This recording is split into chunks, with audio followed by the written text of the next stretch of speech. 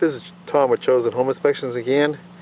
Right now we're under a house and the house built in about uh, early 2000 and right now we're looking at the uh, heating and air uh, return assembly that's mounted to the floor structure.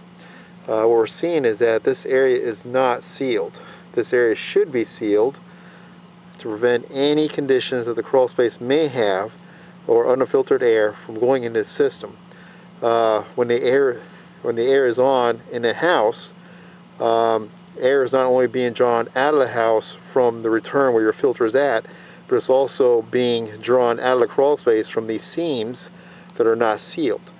And you do not want to have air from the crawl space going into the heating air system.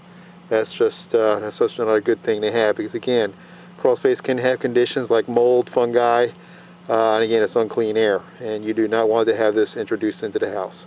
So it is one of the things we look at uh, within our inspection company, Chosen Home Inspections. And if you have any questions or if you need an inspection, I'll be glad to help you out. Uh, so long for now. Thank you.